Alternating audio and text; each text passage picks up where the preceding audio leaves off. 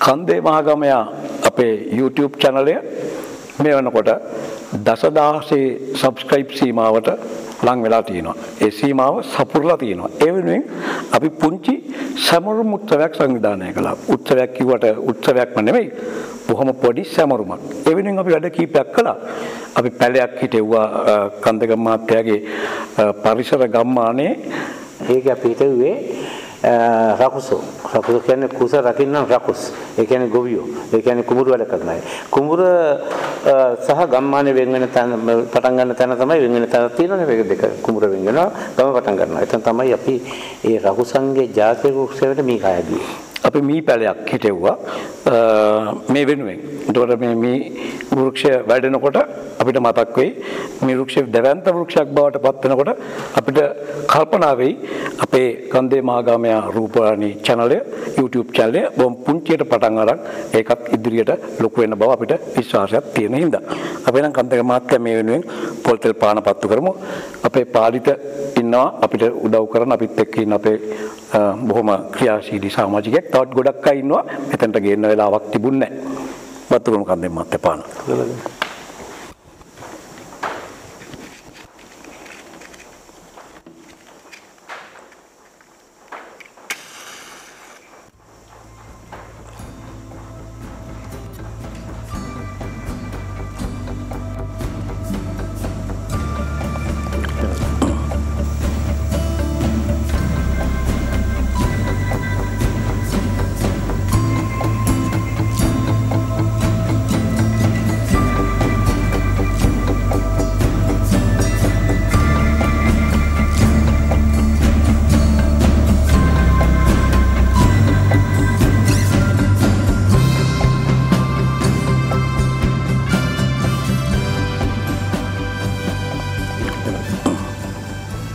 කන්දක මහත්තයා කියන්නකෝ ඇයි මේ වගේ සැමරුම් වෙලාවක අපි පානක් පත්තු කරන්නේ ඒකත් අපි නිකම් පොල්තෙල් පානක් පත්තු කරනකොටදී අපේ ප්‍රේක්ෂකයෝ මේ වෙලාවෙත් යම්කිසි දැනුවත් කිරීමක් කරොත් වටිනවා කියලා මට හිතෙනවා ලෝකයේ තේරුම් ගත්ත මිනිස්සු බුද්ධිමත් මිනිස්සු ජන කොට්ටාසය.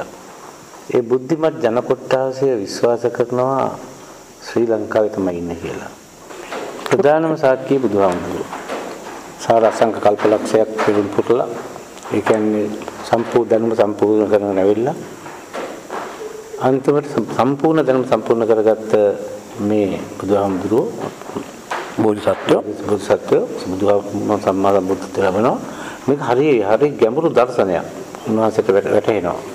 මේක තේරුම් ගන්න පුළුවන් බුද්ධිමත් ජන කොටසකට විතරයි. එහෙමනම් මේ බුද්ධිමත් ජන කොටසේ පෘථිවියෙන් අවසන් වෙච්ච දවසට මේ බුද්ධිමය ධර්ම අවසන් බලනවා කොහෙද මේක අවසන් වෙන්නේ? ශ්‍රී ලංකාවේ. ඒ කියන්නේ ඒකෙන් ඔප්පු වෙන්නේ බුද්ධිමත්ම ජන කොටස වෙන්නේ ශ්‍රී ලංකාවේ. මොකද්ද මේ බුද්ධිය? මේ බුද්ධිය තමයි මේ මහා චක්‍ර සෞරග්‍රහ මණ්ඩලයේ පවතින සූර්යයා මත සූර්යාගේ ශක්තිය මත. සූර්යාගේ ශක්තිය මත තමයි ජීවය ආරම්භ වෙන්නේ. ජීවය කියන සාක ජීවීන් වැඩෙන්නේ සූර්යාගේ ශක්තිය අරන්. සූර්යාගේ ශක්තිය ගබඩා කරගත්ත දේවල් කොළ සහ ගෙඩි සහ මල් කරල් එතකොට අල්ල මුල් කාල සත්ව ජීවත් වෙනවා. ඒ කියන්නේ සූර්ය ශක්තිය හුමාරු කරගන්න. මේ සූර්යාගේ ශක්තිය හරියට තේරුම් අරන් එය විද්‍යාවල් 10කට වෙන් කරලා ඒ විද්‍යාවල් 10ම පාලනය කරන්න පුළුවන් රජ කෙනෙක් ශ්‍රී ලංකාවේ හිටියා කියලා ඉතිහාසය කතා කරනවා. එඳ ඔහුගේ ඔහුගේ අන්වර්ථ නාමය දසිස්. ඔහු සූර්ය වංශිකේ. ඔහු ඔවුන් සූර්ය වංශික වෙනවා. අයියේ සූර්යයා මුල් කරගෙන දැනුම හදා බෙදා හදාගත්ත කට්ටිය. ඒ නිසා අපි සූර්යයා අපි සාමාන්‍යයෙන් උත්සවයක් කරනකොට ඒ ඒ සූර්යව සංකේතවත් කරනවා. සූර්යයා සිහි කරනවා. ඒ තමයි පහන පත්තු කරන්නේ. හරි. අතුව වෙන කාරණාවක් හින්දා නෙමෙයි ප්‍රධානම දේ ඒකේ. මේ මේ පහන මේ සූර්ය සංකේත කියන ඔප්පු කරන්න පුළුවන් සාක්ෂිය තමයි පහනේ අපේ පහනේ තියෙනවා උඩින් කුකුලේ. ඇයි මේ කුකුල තියෙන්නේ? කුකුලගේ රාජකාරිය තමයි සූර්යයා පායන වෙලාව මුළු පෘථුවියටම හඬ ගාලා කෑ ගහන්නේ. ඒ හින්දා බ්‍රහ්ම මූර්තියේදී කුකුලා කෑ ගහනද මේ අවබෝධය ගන්න ලගින්නේ නිදහසේ ලගිනකොට නැගෙනහිර බලාගෙන. එතන මේ පහන පිහිටවන්නේත් නැගෙනහිර බලාගෙන. ඒ හින්දා ඒ සිහි ඒ සිහියෙන් ඒ බුද්ධිමත් කල්පනාවෙන් මේ පහන පත්තු කරනවා නම් මම හිතන්නේ ඒ උත්සවයත් සාර්ථකයි. ඒ වැඩ පිළිවෙලත් අනාගතේ සාර්ථකයි. අපි ඒක මේ නැගෙනහිර පහන තියලා මේ අද මේ සමරුම කරන්න සිදු කරන්නේ